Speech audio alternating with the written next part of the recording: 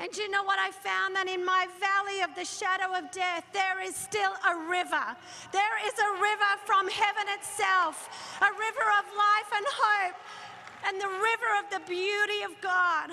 And whatever you're facing today, I'm telling you, though you walk through, through, through the valley of the shadow, it's a shadow. The only way there can be shadow is where there is light present. And our light is Jesus Christ.